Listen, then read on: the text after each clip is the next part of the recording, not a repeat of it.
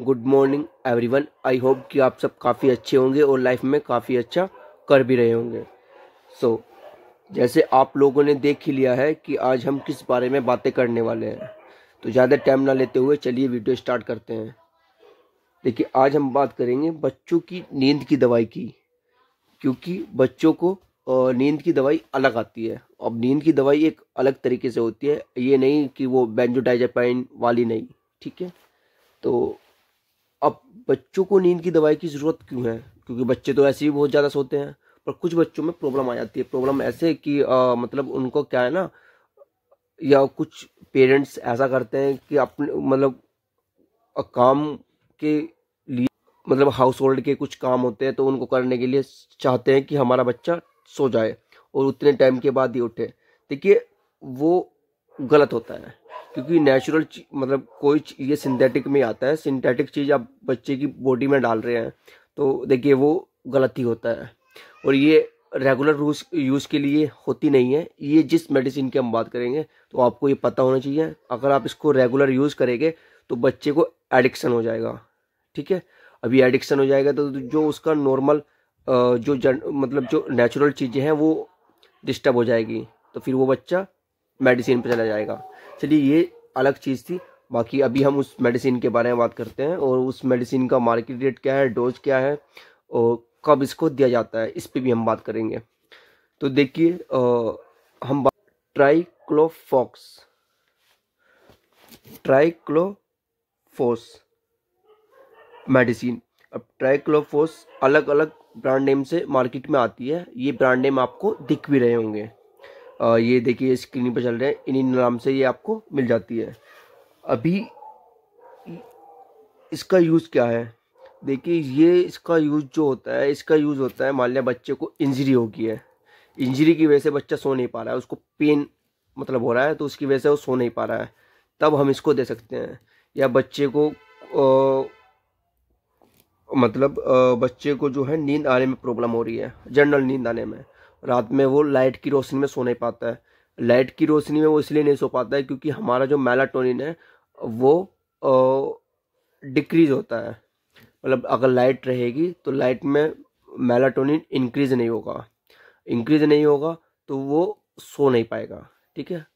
तो इसीलिए इसका यूज़ ऐसे किया जाता है। मान लिया आप लोगों को कहीं पार्टी में जाना है, ठीक है? और आप चाहते उठे ना बीच में।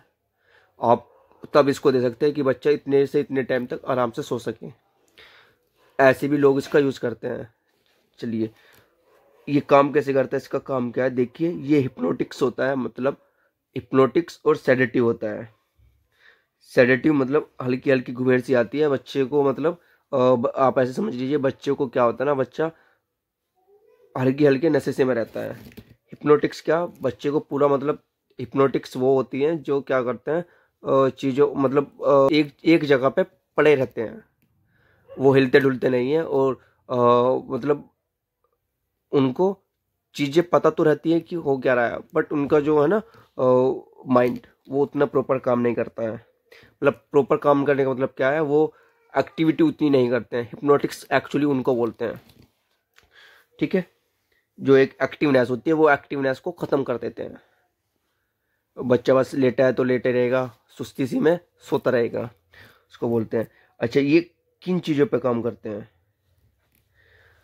तो ये काम करते हैं गाबा न्यूरो ट्रांसमीटर अब गाबा न्यूरो न्यूरो ट्रांसमीटर के एग्जांपल मैं आपको देता हूँ, जो सेराटोनिन हो गया मेलाटोनिन हो गया एपिनेप्रिन हो गया, इन पर जाकर के वर्क करते हैं।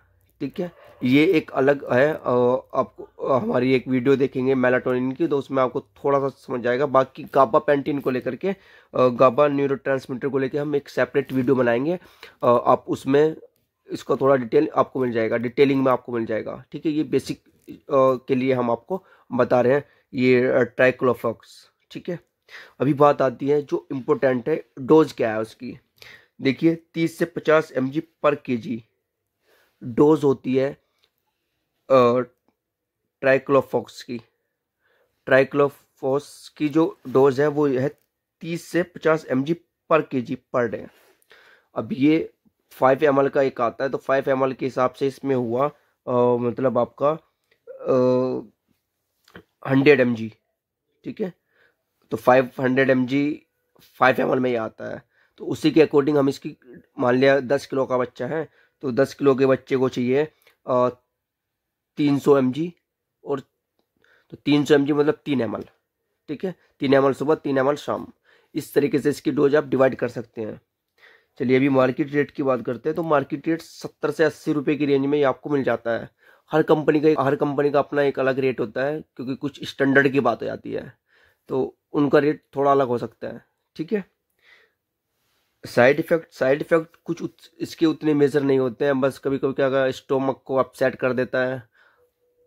वोमिटिंग नोजिया है ना? हल्का हल्का क्या होता है कि आपको मैं मतलब लॉस ऑफ़ वाटर ठीक है? खुशकी टाइप का बच्चे को आ सकता है। ये इसके साइड इफ़ेक्ट हैं। तो आई होप कि आपको वीडियो समझ आया होगा। और हाँ इसी तरह की और वीडियो देखने के लिए प्लीज़ आप हमारे चैनल को सब्सक्राइब कर लीजिए, ताकि इन फ्यूचर आपको नई नई वीडियो मेडिसिन के रिलेटेड मिलती रहे। Thank you so much